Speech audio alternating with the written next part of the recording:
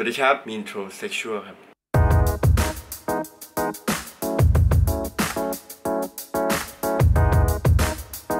วัสดีทุกคนนะครับผมก็กลับมาเจอกันอีกแล้ววันนี้นะครับผมวันที่อัดเนี่ยเป็นวันที่ 30 กันยายนนะครับมีนเนี่ยจะไปเปิดตัวซีรีส์เรื่องใหม่กับทาง Line TV นะครับเรื่อง The Graduate เรื่อง The Graduate นะครับเป็น original ของทาง Line TV ก็เล่นด้วยกันหลายคนด้วยกันมีพี่กอล์ฟพิชญะนะครับกอล์ฟไมค์แล้วก็มีพี่ทิชา มีพี่จูเนียร์มีมีนนะครับแล้วก็มีอีกหลาย ๆ คนในเรื่อง ซึ่งวันนี้เราจะไปงานเปิดตัวซีรีส์งานแถลงข่าวนะครับแล้วก็ได้รับ เสื้อมาตัวหนึ่งนี่ตัวนี้นะครับผมเป็นเสื้อบัณฑิตเจ็บใหม่ The Graduate นะเขาบอกว่าเอาตัวนี้เนี่ยไป mix and match กับอะไรก็ได้สำหรับงานวันนี้นะครับผมก็เลยเอาละมานั่งคิดแล้วว่าจะ mix and match อะไรดีนะครับ ก็เริ่มมาเลยดีกว่าย้ายมุมนิดนึงนะก็อย่างแรกเนี่ยก็คือ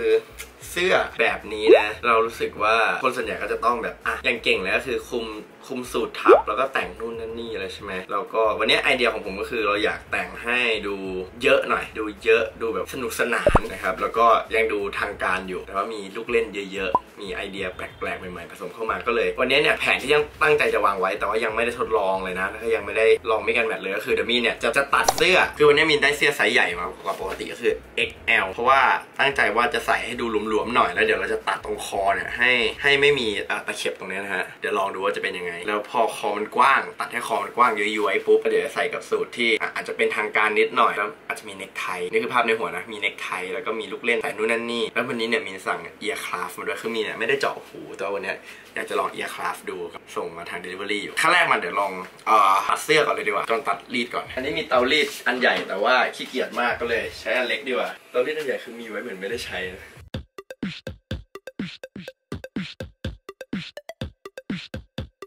โอเครีดเสร็จแล้วเราก็มาตัดกันนะครับ ด้วยกับกรรไกรตัดผ้านะครับ แต่ว่านี่มันจะไม่ค่อยคมเท่าไหร่แหละแต่ว่าได้ใช้ได้อยู่ยกมาใกล้ๆแล้วกันแล้วตัดตัดที่คอนะครับผมก็เริ่มจะไม่รู้ว่ามั่วตรงนี้แล้วกันคือหลายคนอาจจะคิดว่าผมแบบโปรมากเลยนะผมบอกเลยนะเพราะไม่ไม่จริงเลยนะผมมั่วซั่วไปเรื่อยๆเลยนะฮะโอ้ยยากอะถือแล้วกัน เริ่มขาดแล้วเริ่มขาดแล้วลุ้นก็ยากว่ะเอาไงดีเนี่ยอย่างนี้แล้วกัน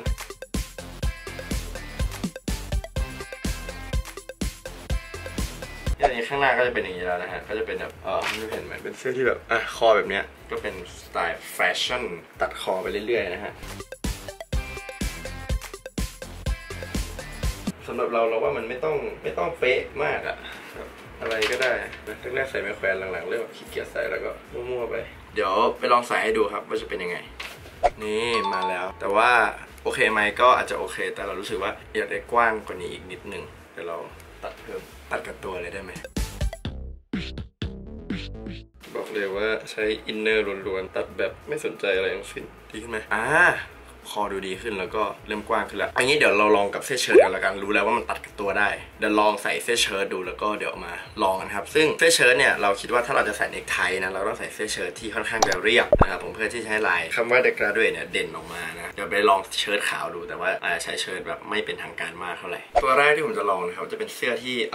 พอดีตัวหน่อยต้องลองดูว่าใส่แล้วจะเป็นยังไง แล้วก็เนคไทที่เราเลือกก็วันนี้เป็นกุชชี่นะสีทองนี้ก็คิดว่าชุดวันนี้ทั้งหมดน่าจะเป็นเอ่อดำทองนะเป็นโทนนะคือเวลาเลือกเลือกเนี่ยมันต้องเลือกนะว่าแบบเครื่องประดับเราพอมันเป็นสีอะไรแล้ว ควรเป็นสีนั้นเลยไม่ให้แบบดำๆเงินเงินๆอะไรเงี้ยยกเว้นว่าเราจะแบบเวทน้ำหนักมันได้ดีนะแต่ว่าเราว่าถ้าแบบใครที่ยังไม่ชัวร์หรือว่ายังมีความแบบไม่มั่นใจอะไรเงี้ยเราว่าเลือกสีเดียวดีกว่าถ้าเป็นนี้เป็นสีทองใช่ไหมแหวนเวิร์นหรือว่าเข็มขัดอะไรเงี้ยก็ควรจะเป็นสีทองด้วยทั้งหมดเลยนะครับคือบางทีเราก็ทำแหละเราก็เงินบ้างทองบ้างอะไรเงี้ยแต่ว่าใครที่ยังไม่ค่อยแม่นไม่ค่อยอะไรหรือว่าไม่มั่นใจก็ลองแบบดีดีกว่าก็ play safe ดีนะครับอันนี้เราก็ใส่เนคไทกับเชิ้ตแล้วแล้วเดี๋ยวลองเอาเสื้อยืดมาคลุมดูอันนี้เป็นแบบพอดีตัวนะเดี๋ยวลองดูก่อนถ้าไม่ work อาจจะต้องใส่แบบ oversize อันนี้คือสิ่งที่เกิดขึ้นนะครับซึ่งก็ค่อนข้างใกล้เคียงกับที่เราคิดไว้ แต่เดี๋ยวเราจะต้องตัดเพื่อให้โชว์โลโก้นี้นิดนึงแต่เดี๋ยวผมขอลงไปเอา ear cuff ก่อนใส่เดี๋ยวขึ้นมาใหม่ครับโอเคมาแล้วเดี๋ยวเราลองกับสูทต่อดีกว่าว่าจะเป็นยังไง ซึ่งผมไม่คิดใส่แล้วก็ตอนเดินลงไปข้างล่างก็เออจริงๆแค่นี้ก็ดีนะแบบว่าไม่ต้องโชว์เยอะมากเท่าไหร่โชว์แค่แหลมๆเลื่อมอย่างนี้นิดเดียวช่วยเยอะมันดูตั้งใจแบบผมว่าอะไรแบบนี้ดีกว่าให้มันดูแบบว่าทับๆนิดนึงไม่ได้ขายของมากโอเคเดี๋ยวลองกระสูตรว่าจะเป็นยังไงซึ่งผมแอบรู้สึกว่า สูตรจะต้องตัวใหญ่นิดนึงอาจจะดีเดี๋ยวขอลองตัวพอดีตัวกันแล้วก็เสื้อข้างในผมแอบรู้สึกว่าปกมันเล็กไปหน่อยนะจะลองตัวที่เป็นโอเวอร์ไซส์ให้ดูไม่แย่ว่ะนี่เป็นสูตรแบบพอดีตัวนะฮะก็ก็โอเคเลยนะอาจจะต้องเติมเดี๋ยวเติมเข็มขัดไปสักหน่อยก็น่าจะดีขึ้นแต่เดี๋ยวเดี๋ยวขอลองสูท oversize อีกตัวคือเวลาเรา match เสื้อเชิ้ตอะเราต้องเลือกที่สูตรด้วยว่าสูตรมันเข้ากับเสื้อเชิ้ตเราแค่ไหนอะไรเงี้ยจำเป็นมากนะ ต้องลองต้องลองหมดเลย จริงๆ ไม่แย่ไม่แย่ทั้งคู่เลยเรียกได้ว่าสูทไม่ต่างกันเลยดีกว่าแล้วแล้วแต่ชอบเลย ส่วนตัวคิดว่าน่าจะ oversize นิดหนึ่งประมาณตัวนี้น่าจะดีกว่า แล้วก็ตัวนี้เป็นสูทกระดุมเดียวสามารถปิดกระดุมแต่ว่าทั้งหมดยังอยู่ได้ พอเป็นเสื้อเชิ้ตที่มันคอใหญ่แบบนี้แล้วปกเนี่ยมันใหญ่ขนาดนี้แล้วมันดูดีขึ้นมานะมันถือว่าดูแบบดูสมส่วนขึ้นมา แต่ว่าเราคิดอยู่ว่าจะติดกระดุมดีไหม หรือว่าเราจัดเสื้อไม่ดีมันเลยแอบเฉียงนิดนึง มันจะอยู่อะไรแบบนี้หรือเปล่าอาจจะเป็นเพราะเราจัดเสื้อไม่ดีก็รู้สึกว่าก็โอเคนะ คิดอยู่ว่าควรจะตัดเสื้อให้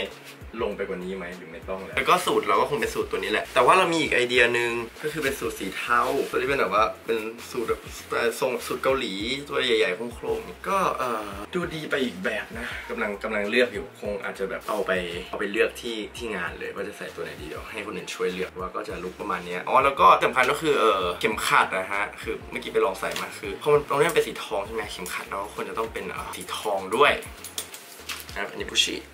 แล้วเราว่าจะใส่อันนี้ดีกว่าเป็นดีออที่มาคู่กับ Shadow Bell Back นะฮะแอบรู้สึกว่าพออยู่ในรูปแล้วพอเป็นสีดำแล้วมันมันกลืนกันไปหมดอะเดี๋ยวถือถือไปเผื่อแล้วกัน ไม่รู้ว่าจะต้องใส่ตัวไหนดีก็มีเข็มขัดสีทองเข้ามาก็จะเออเป็นแมทได้ดีนะแต่เสื้อสีดำนี่ก็ทำให้ห้อยหน่อยซึ่งผมคิดว่าอาจจะแบบผมอาจจะแอบแบบตัดตัด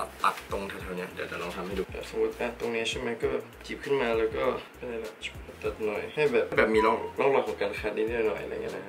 ให้มีอะไรอย่างงี้แต่ว่าต้องขัดแบบตั้งใจขัดนิดนึงอะให้คนรู้ว่าเฮ้ยสิ่งนี้คือเราตั้งใจนะเว้ยอาจจะแบบใหญ่หน่อยหรือว่ากว้างหน่อยนะอะไรแบบเนี้ยแล้วพอแบบพอเสื้อมันตึงมันก็จะเห็นเป็นรอยขาดจะทำสักสองรอยใกล้ๆกันตัดผิดไปตัดสูตรแย่เลยเนี่ย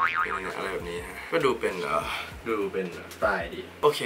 ประมาณนี้แล้วก็ท้ายเอ่ออ c เซสซอรี่ต่างๆ ก็เดี๋ยวคงเติมเติมมาเดี๋ยวเราเอากล้องนี้ไป total look final look กันที่นู่นอีกทีหนึ่งแต่ว่าคือขออวดหน่อยว่า อันนี้ผมมาสั่งผมสั่งมาจากร้านเอ่อร้าน Daily Earcraft นะครับอยู่ใน IG Earcraft เนี่ยจะเป็นคล้ายๆต่างหูที่แบบสำหรับคนไม่ได้เจาะหูนะครับ ตัวเป็นตัวล็อกเอาไว้ล็อกตามเอ่อตรงนี้หรือตรงนี้อะไรเงี้ยซึ่งผมเนี่ยไม่ได้เจาะหู ผมซื้อมาเยอะมากเกือบสิบอัน แต่ว่าไม่แน่ใจว่าเอาสีทองมาหรือเปล่าเดี๋ยวลองดูกัน ขอบคุณทางร้านที่แบบคือนี่เขาแบบโนสปอนเลยนะ แต่ว่าคือผมอะสั่งด่วนมากๆ บอกว่าส่ง Delivery ส่ง Messenger มาเลย ผมมีสีทองอยู่เออสองแบบเนี้ยนะ ก็เดี๋ยวเขาเลือกกันว่าจะ ใส่อันไหนดีแต่คิดว่า look วันนี้ก็คงเป็นสีทองแหละสั่งมาเยอะมากก็เดี๋ยวน่าจะหยิบติดเผื่อๆไปแบบอะไรแบบเนี้ยนะให้แบบดูแบบคือเราอะไม่ไม่กล้าเจาะหู เพราะว่าเรารู้สึกว่าเจาะหูแล้วแบบแอบรับงานยากเลยโอกาสในการแสดงมันก็บาง character เราถ้าเราเป็น character ต้องเจาะหูแล้วก็หนีบเอาก็ได้อะไรเงี้ยหรือว่าแบบบาง character ที่ถ้าเราเจาะหูไปแล้วแล้วบาง character ที่แบบมันไม่เหมาะกับการเจาะหูเนี่ยถ้าเราไปแล้วเราเราก็รู้สึกว่าเราไม่ค่อย in ไงเราก็เลยไม่เจาะหูดีกว่าเนี่ยนะก็จะมีอะไรแบบนี้ปุ๊บหูก็เล็กเหลือเกินนะนี่นะฮะตรงแบบนี้เนี่ยเท่ๆใส่ไปสักข้างหนึ่งโอเคเดี๋ยวผมขอแบบจับนู่นจับนี่แล้วกันแล้วเดี๋ยวจะไปเปลี่ยนหน้าเปลี่ยนผมด้วยเพราะว่าเมื่อเช้ามีงานหนึ่งแต่เดี๋ยวตอนเย็นก็ต้องเปลี่ยน look กันสักหน่อยแล้วเดี๋ยวเราไปสรุปกันตรงนู้นครับที่งานเดี๋ยวเจอกัน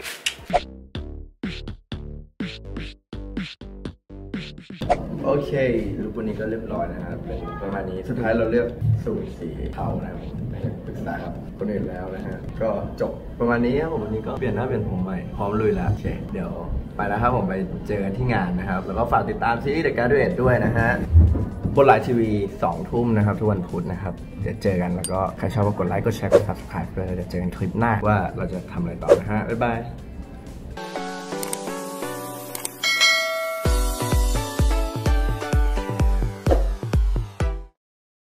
ดูมีนจบแล้วฝาก subscribe ด้วยนะครับ